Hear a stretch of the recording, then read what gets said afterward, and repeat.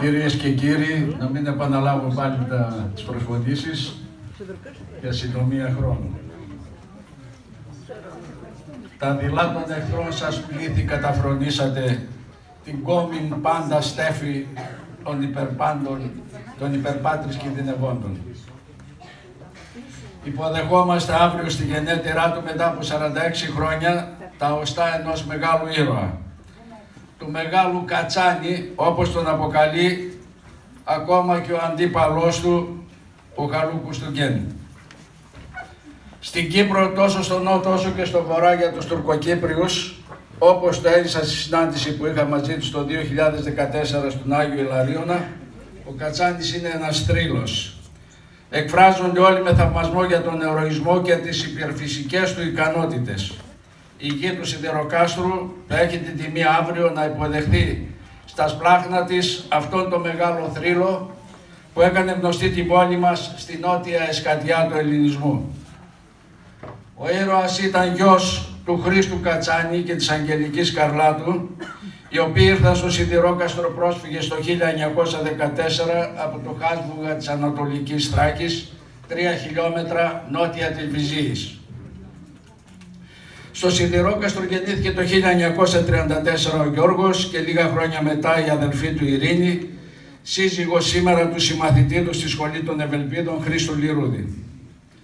Το 1941 κατά τη διάρκεια της γερμανοβουλγαρικής κατοχής όλη η οικογένεια εγκαταστάθηκε στη Θεσσαλονίκη όπου ο Γιώργος έζησε τα νεανικά του χρόνια χωρίς να ξεχνά όμως και την ιδιαίτερη πατρίδα του Σιδηρόκαστρου και διακρίνονταν για το ήθος, και πρόσκαρο του χαρακτήρα του, κερδίζοντας την αγάπη και εκτίμηση των συμμαθητών του.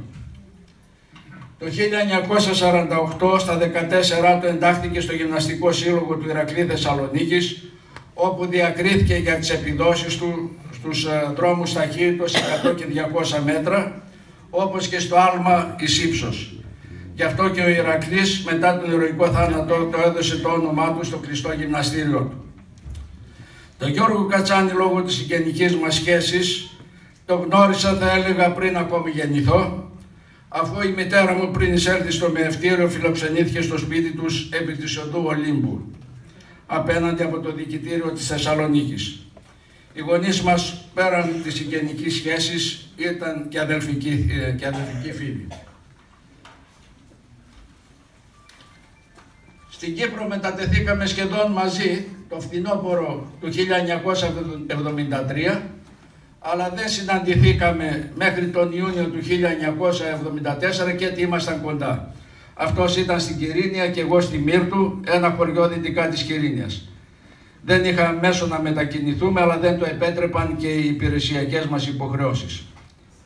Όταν παρέλαβα το αυτοκίνητό μου στα μέσα Ιουνίου του 1974, αρχίσαμε να συναντιόμαστε πιο συχνά. Την περίοδο αυτή όμως φούταναν και οι φήμες που καλλιεργούσε ο Κυπριακός τύπος για καταδρομής που είχαν έρθει από την Ελλάδα να δολοφονήσουν τον πρόεδρο Μακάριο και περί πραξικοπήματος.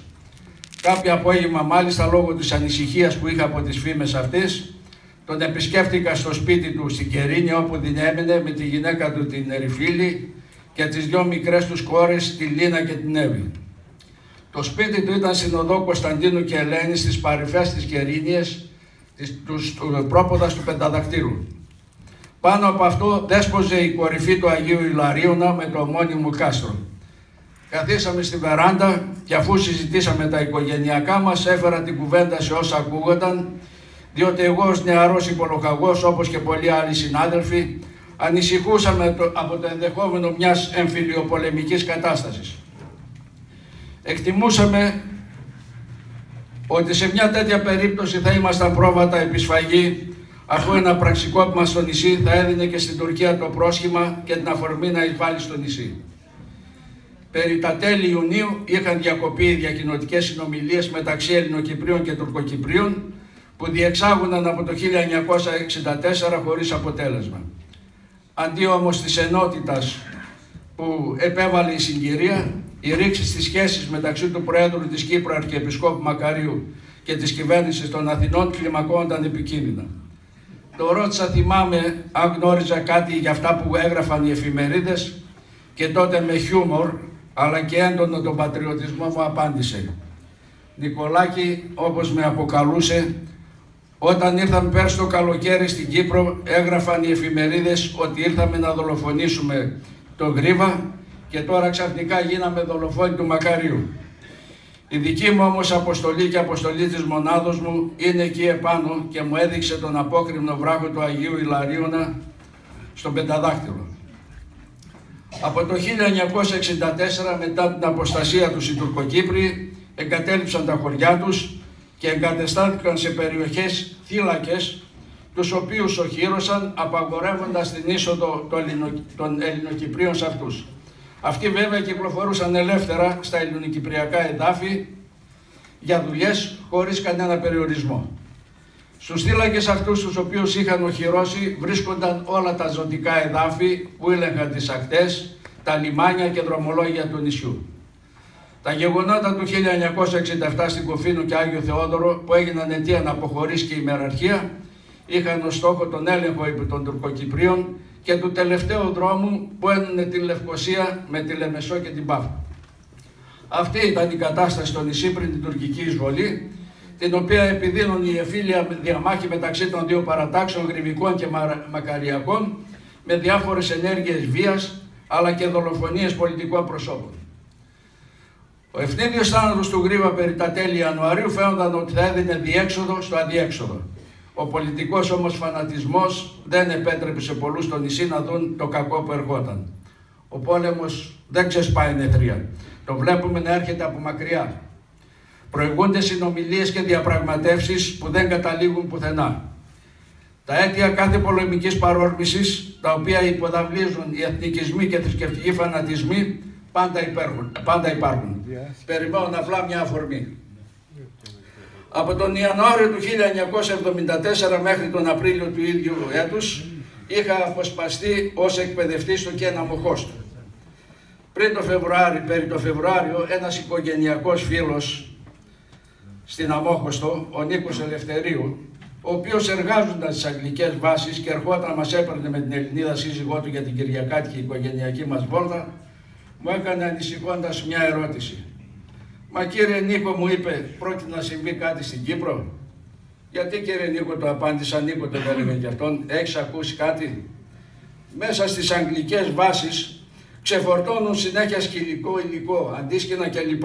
Για πού τα προορίζουν; Από το Φεβρουάριο συνεπώς είχαν αρχίσει οι προετοιμασίες, όπως έγινε και στη χώρα μας, για την υποδοχή ξύρων προσφύγων πριν ακόμη ξεσπάσει ο πόλεμος. Τον Ιούλιο του 1974 ο διχασμός κορυφώθηκε και με περιστατικά βίας μεταξύ εθνοφρουρών και εφεδρικού σώματος, τα οποία επιδίνωσαν ακόμη περισσότερο τις σχέσεις μεταξύ Αθηνών και Λευκοσίας. Η ανταλλαγή και δημοσίευση στον τύπο επιστολών μεταξύ του Πρόεδρου Μακαρίου και της κυβέρνησης των Αθηνών που ζητούσαν ακόμη και την απομάκρυση των Ελλήνων αξιωματικών φαίνονταν ότι οδηγούσαν την εφήλια διαμάχης στα άκρα. Τις παραμονές του πραξικοπήματος και ενώ όλοι οι υπόλοιποι συνάδελφοι ζητούσαμε τον επαναπατρισμό, επαναπατρισμό μας, τον οποίο βλέπαμε ως λύτρωση, ο Διευθυντής Καταδρομών της Κύπρου Συνταγματάρχης Κωνσταντίνος Κομπόκης συγκάλεσε σύσκεψη των διοικητών μοιρών, στους οποίους ανεκκίνωσε την επιχείρηση ανατροπής του Προέδρου Μακαρίου. Στη σύσκεψη αυτή, σύμφωνα και με το πόρισμα της Εξεταστικής Επιτροπής της Βουλής των Ελλήνων για το φάκελο της Κύπρου, 31 Δεκάτου του 88, δεν κλείθηκε ο διοικητής της 33 μοίρας. Στις 12 Ιουλίου όμως ένας λόγος της 33 μοίρας τέθηκε με διαταγή του Κομπόκη υποδιοίκηση της 31 μοίρας καταδρομών στην Αθαλάσσα της Λευκοσίας. 31 μοίρα καταδρομών είχε μετακινηθεί ήδη στη Λευκοσία από το Μάρτιο του 1974 από την Τύπου όπου ήταν η έδρα της. Τις πρωινές ώρες της 15η Ιουλίου η Εθνική Φρουρά υλοποίησε το κίνημα εναντίον του Πρόεδρου Μακαρίου στη Λευκοσία, ενώ η 33 μοίρα του Κατσάνη στο Πέλα Παΐς αγνοούσε ως εκείνη την ώρα όσα συνέβησαν, όπως πολλές άλλες μονάδες της Κυπριακής Εθνοφρουράς, που μάθαμε την είδηση από το ραδιόφωνο του ΡΙΚ, λαμβάνοντας άμεσα μέτρα προστασίας του στρατοπέδου μας. Μετά την εδραίωση των πραξικοπηματιών, η 33 μοίρα βρέθηκε κατακαιρματισμένη σε διάφορες περιοχές του νησιού. Στο στρατόπεδα τους στο Πέλα Παΐς είχε παραμείνει ένας λόγος υπό τον λοχαγό Αργύρι Αθανάσιο. Στις 17 Ιουλίου η μοίρα ανέλαβε με δύο λόγους την φρούρηση και ασφάλεια του αεροδρομίου, όπου και παρέμεινε μέχρι τις 20 Ιουλίου. Ένας άλλος επίσης ενισχυμένος λόγος υπό τον υποδιοικητή λοχαγό Μαντζουράτο Ευάγγελο και τον υπολογαγό Ροκά Βασίλειο παρέμεινε στο ΡΙΚ. Στις 19 Ιουλίου το βράδυ ο Κατσάνης συγκέντρωσε τους αξιωματικούς του αίθουσα του αερολιμένα Λευκοσίας και τους εξήγησε ότι έπρεπε η μοίρα να είχε ετοιμότητα μετακίνησης εκτιμώντας ότι ήταν πιθανό την επομένη να άρχισαν οι επιχειρήσεις κατά των Τούρκων. Με το χάραμα όμως στις 20 Ιουλίου και ενώ η μοίρα ετοιμάζονταν να μετακινηθεί προς Πέλα Παΐς, φάνηκαν στον ουρανό τα πρώτα πολεμικά τουρκικά αεροσκάφη, βομβαρδίζοντας με ρουκέτες και βόμβες να πάρουν λευκούς φωσόρου τη Λευκοσία, το αεροδρόμιο, το στρατόπεδο της Ελδίκ, το ΡΙΚ και το στρατόπεδο της Αθαλάσσας. Παράλληλα, Τούρκοι αλεξιπτωτιστές ρίπτονταν στην Κιθρέα και τον θύλακα Αγίρτας Κιόνελη. Στις 5 το πρωί η μοίρα με προφορική διαταγή του διοικητή καταδρομών συνταγματάρχη Κομπόκη διατάχθηκε να αναχωρήσει από το αεροδρόμιο για Πέλα Παΐς, αφήνοντας αυτό μειωμένη δύναμη λόγω 67 ατόμων υπό τον ανθιπολογαγό Κότσαλη. Ήδη όμως και οι αποβατικές δυνάμεις είχαν προσεγγίσει στα βόρεια παράλια της Κύπρου, όπως πληροφορήθηκε η μοίρα από το κέντρο διαβάσεων. Η κίνηση της μοίρας έγινε με οχήματα σε δύο φάλαγγε. Η πρώτη υπό τον διοικητή Κατσάνη από το αεροδρόμιο και η δεύτερη υπό τον υποδιοικητή Μαντζουράτο από το ΡΙΚ με σαφείς οδηγίες να φτάσουν όσο το δυνατόν πιο σύντομα στο Πέλα Παΐς. Η φάλαγγα του 31ου λόγου κρούσης με επικεφαλής στον Κατσάνη και τέσσερα φορτηγά Μπέτφορντ κινήθηκε μέσω Κλεπίνης με τιμότητα εμπλοκής σε μάχη λόγω της ρήψης αλεξιπτωτιστών στο σημείο αυτό και κατάληψης των διαβάσεων Κλεπίνης και δικό μου υπό των Τούρκων. Πριν φτάσουν όμως στο Πέλα Παΐς, η φάλαγγα δέχτηκε προσβολή από εχθρικά αεροσκάφη, αλλά κατάφεραν να φτάσουν βόρεια και πολύ κοντά στο στρατόπεδο χωρίς απώλειες. Ακολούθησε η φάλαγγα του 33ου λόγου κρίσους, η οποία φτάνοντας στον Άγιο Επίκτητο, δέχτηκε επίθεση από αεροπλάνα, τα οποία επιχειρούσαν με συνεχείς βυθίσεις να προσβάλλουν τη φάλαγγα. Οι καταδρομείς εγκατέλειψαν τα οχήματα και έσπευσαν να καλυφθούν. Αποτέλεσμα των αεροπορικών επιδρομών ήταν η καταστροφή μεγάλου μέρους των πυρομαχικών και ο τραυματισμός ενός δημιουργήτη και 12 οπλιτών οι οποίοι προωθήθηκαν στο νοσοκομείο του Πέλα Παΐς και της Λευκοσίας. Ένας δε τραυματίας ακολούθησε το λόγο. Στις παρυφές της εκκλησίας της Ασεντρούσας και με τη δέουσα προσοχή έγινε ανασυγκρότηση του λόγου, ο οποίος με τη δέουσα προσοχή έφτασε στο χώρο διασποράς της μοίρας που βρίσκονταν στην περιοχή μεταξύ Πέλα Παΐς και της Βίλας Λέδης. Το στρατόπεδο δέχονταν και αυτό αεροπορικές προβολές, αλλά ο διοικητής του λόγου υποστήριξης, υπολογαγός Αργύρης Αθανάσιος, αφού διέσπηρε τους καταδρομείς εντός του στρατοπέδου, έδωσε εντολή για αντιαεροπορικά πυρά, από τα οποία κατερρίφθηκε και ένα αεροσκάφος. Η άφηξη της μοίρας ολοκληρώθηκε μέχρι το απόγευμα, όπου άρχισαν να καταφτάνουν και οι πρώτοι επίστρατοι, οι οποίοι κατατάσσονταν από την αξιωματικό επιστράτευσης, τον ανθιπολογαγό Χατζικύρου Γιώργιο και κατανέμονταν σε δημιουργίες. Το απόγευμα της 20ης Ιουλίου η μοίρα μετακινήθηκε στην περιοχή της Βίλας Λέδης και αναπτύχθηκε σε προκεχωρημένες θέσεις με μέτωπο προς τη διάβαση της Αγίρτας. Στις 19, ο διοικητής καταδρομός συνταγματάρη Κομπόκης εξέδωσε διαταγή επιχειρήσεων γνωστή ως σχέδιο Λαβίδα για κατάληψη του Αγίου Ιλαρίωνα. Ω ώρα κρούσης ορίστηκε η 23.00 τη 20 Ιουλίου. Με βάση το σχέδιο αυτό, 31η μοίρα καταδρομό θα επιτίθεται κάτω του υψώματος Κοτσάκαγια, νότια του Αγίου Ιλαρίωνα.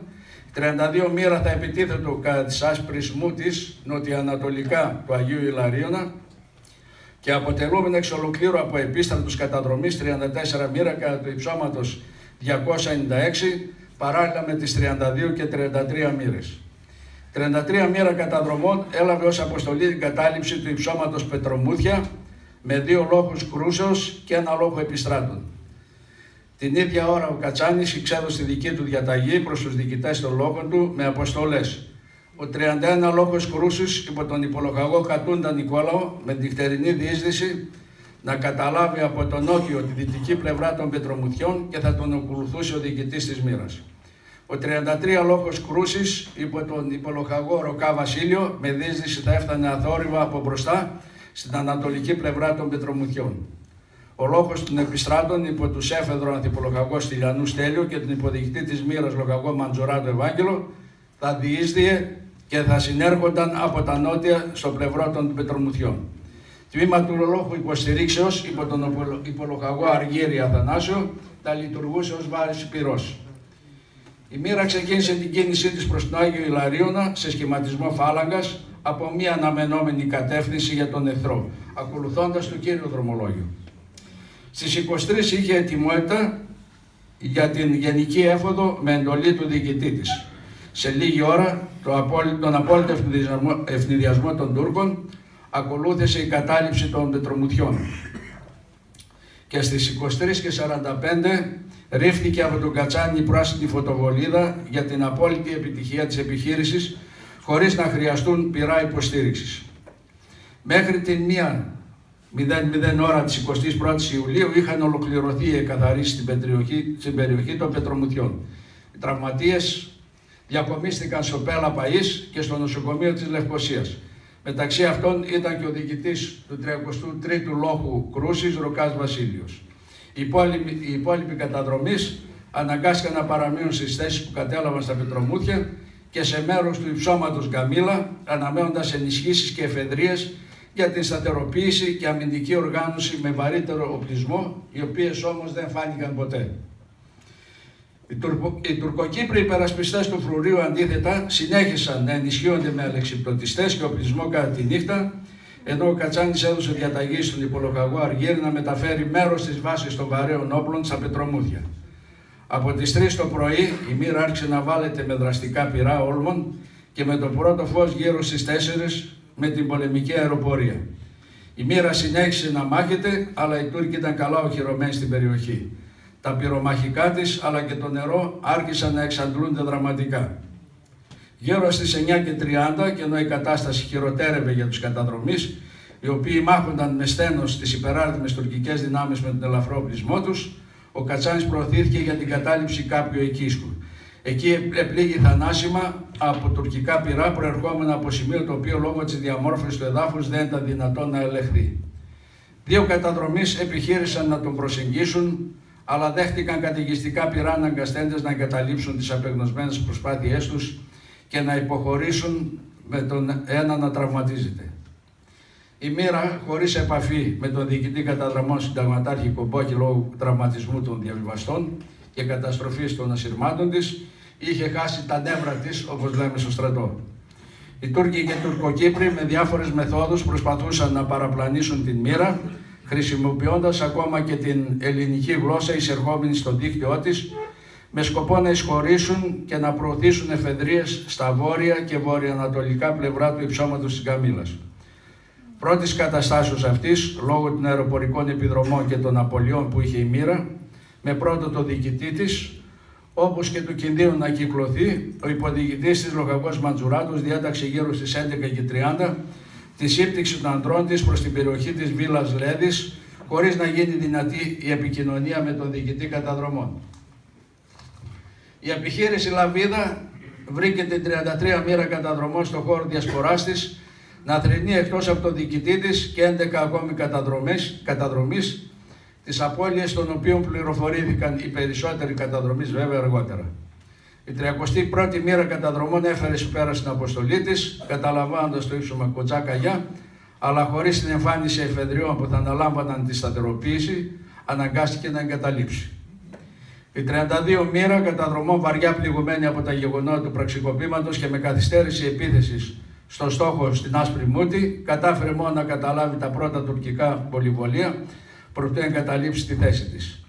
Η 34 μοίρα καταδρομών που ήταν συγκροτημένη από επίστρατους, λόγω της μη έγκαιρης συγκρότησης παρουσίασε μειωμένη πολεμική δραστηριότητα.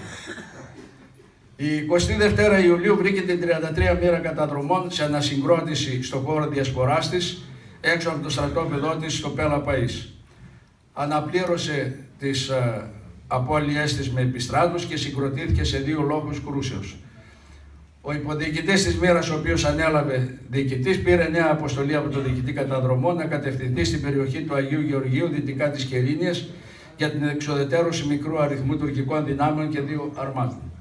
Η κατάσταση όμως όπως διαπιστώθηκε είχε επιδεινωθεί ακόμη περισσότερο λόγω διεύρυνσης του προγεφυρώματος και ενίσχυσής του με άρματα. Οι καταδρομείς κινήθηκαν προς την ακτή 5 μίλη και ενεπλάκησαν σε ένα άνισο αγώνα. Κατά τη διάρκεια της υποχώρησής τους προς Πέλα Παΐς άφησαν πίσω τους νέους νεκρούς και τραυματίες. Ανάμεσα στους νεκρούς ήταν και ο διοικητής του 31ου Λόγου Κρούσους, ο υπολογαγός Κατούντας Νικόλαος, ο οποίος χάθηκε σε ένα χήμαρο βόρεια του χωριού Τέμπλους. Στην προσπάθεια του να συμπληθεί με άλλους καταδρομείς στο Πέλα Παΐς, δέχτηκε την επίθεση των Τούρκων. Η τύχη του παραμένει μέχρι σήμερα άγνωστη. Σύμφωνα με μια πληροφορία που έχω από τουρκική πλευρά, Τούρκος καταδρομέας που συμμετείχε στον Ατήλα ανέφερε ότι συνάντησαν στην περιοχή αυτή έναν Έλληνα αξιωματικό, ο οποίος ήταν κάτω από μια ηλιά τραυματισμένος. Όταν τους είδε, ανέφεραν, πήγε να σηκωθεί και τον πυροβόλησαν. Εύχομαι να εντοπιστούν και του κατούντα τα ουστά με βάση πληροφορίες που δίνουν διάφοροι. Ο εντοπισμός των οστών όμως, όπως και του Κατσάνη, είναι μια δύσκολη διαδικασία, διότι η διακομιδή των νεκρών έγινε από διάφορες ομάδες ή άντρες του ΕΙΕ και η ταφή τους μέσα σε ομαδικούς τάφους χωρίς να κρατηθούν στοιχεία. Πολλές δυσκολίες παρουσιάζει σήμερα και μετά από 46 χρόνια και ο εντοπισμός των περιοχών λόγω αλλαγών στο φυσικό περιβάλλον για τον ογόνα των μονάδων καταδρομών που θα έκρινε και την έκβαση της αποβατικής επιχείρησης, εάν υπάρχουν οι ανάλογες εφεδρίες, ο Τούρκος αντίπαλος αναφέρει σε μια συνέντευξη που έδωσε στο περιοδικό επίκαιρα και επιτρέψε μου να διαβάσω ένα απόσπασμα. Μισή ώρα λέει, περίπου πριν τα μεσάνυχτα, ο διοικητής του τουρκοκυπριακού τάγματος που βρίσκονταν πάνω στο Κοτζάκαγια Έφτασε τρέχοντας στις θέσεις μας και άρχισε να κραυγάζει έντρομος ότι το ύψωμα είχε καταληφθεί από Έλληνες κομμάντος, οι οποίοι επιτέθηκαν ξαφνικά μέσα στη νύχτα από δυτικά και ανατολικά και μας εκλυπαρούσε να αντιπιτεθούμε αμέσως. Τόσο το τάγμα μας, όσο και το στρατηγείο που είχε εγκαταστήσει στο Πογάζι πολύ κοντά στο, στο Κοτσάκαγια, ο επικεφαλής όλων των αποβιβαστέντων τουρκικών δυνάμεων, στρατηγός Νουρεντίν Ερσίν απειλούνταν ευθέως με περικύκλωση. Επικοινωνία με το στρατηγείο δεν υπήρχε αφηγή το κύριο Σουστουγέν. Ενδεικτικό του απόλυτου ευθυνδιασμού των Τούρκων ήταν το ότι όταν αντιλήφθηκαν στο στρατηγείο του Μπογαζίου ότι οι Έλληνες είχαν καταλάβει το Κοτσάκα και τα απειλούσαν τον Άγιο Ιλαρίωνα, άρχισαν να καίνε χάρτες και έγγραφα και οι αξιωματικοί να φερούν διακριτικά από τις στολές τους. Λόγω της σοβαρότητας της κατάστασης, καθώς η συγκεκριμένη περιοχή έπρεπε πάση θυσία να διατηρηθεί σε τουρκικά χέρια, ώστε να μπορέσουν οι δυνάμεις στην ακτή απόβαση να ενωθούν με τον τουρκοκυπριακό θύλακα, ο διοικητής του πρώτου τάγματος καταδρομών, αντισυνταγματάρχης Κεμάλε Ρούτ, με δική του πρωτοβουλία διέταξε την ενέργεια αντιπιθέσει για την κατάληψη του Κοτσάγκαγια. Αυτά τα λένε οι Τούρκοι και αν πετύχαινε αυτή η επιχείρηση θα έκρινε και την, και την έκβαση όλου του πολέμου. Στο δεύτερο γύρο των επιχειρήσεων είχα την τιμή να συνεργαστώ με την 33 μοίρα καταδρομών στην περιοχή της Αγίας Μαρίνας και να φανούμε αντάξει του Κατσάνη, τον οποίο νιώθαμε να μας βλέπει από ψηλά. Μαζί με την 33 μοίρα και ό,τι απέμεινε από αυτήν, δώσαμε με την πυροβολαρχία μου σε πρώτη γραμμή μια σκληρή μάχη, αποσπώντας το θαυμασμό όλων των συμπολεμιστών και προϊσταμένων, οι οποίοι δεν περίμεναν να βγούμε ζωντανοί, όπως μας έλεγαν.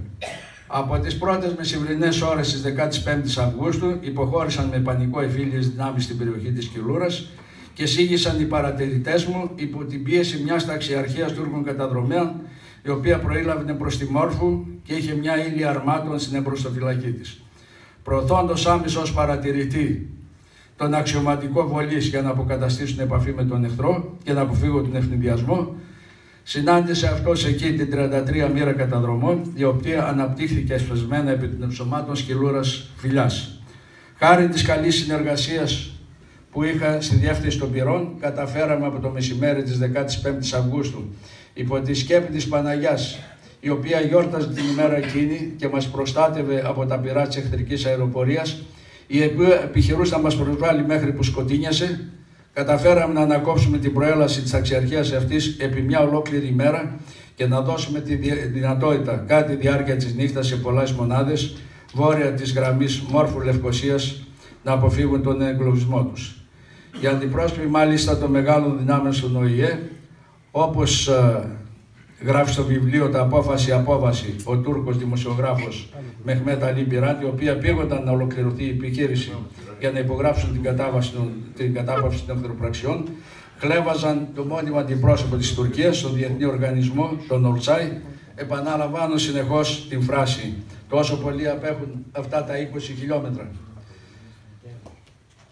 Σήμερα έχουμε μαζί μας και δύο συμπολεμιστές του Κατσάνη, οι οποίοι θα ακολουθήσουν και θα φυγηθούν και τους καλωσορίζω και εγώ με την σειρά μου, διότι όπως είπα τους είχα και εγώ μαζί μου τις 15 Αυγούστου.